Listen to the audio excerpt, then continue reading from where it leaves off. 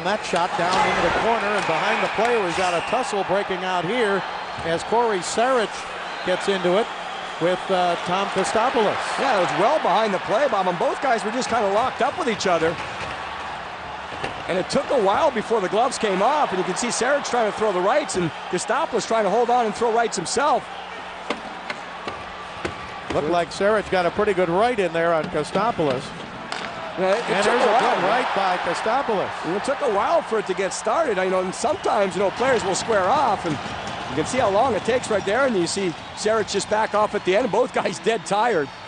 So it was well behind the play. It looked to me like Kostopoulos may have got his hands caught up into the stick of Sarich. Sarich makes the pass to finish. A little bit of a cross check, and look, you see how it's wrapped around the arm. Then they just kind of look at each other. They look at each other. Drop stick, drop gloves. So I assume both players will get five minutes each for fighting. That's what should happen. And again, both guys were willing to throw rights, lefts, back and forth. And when you have that long of a fight, believe me, it takes a lot out of you.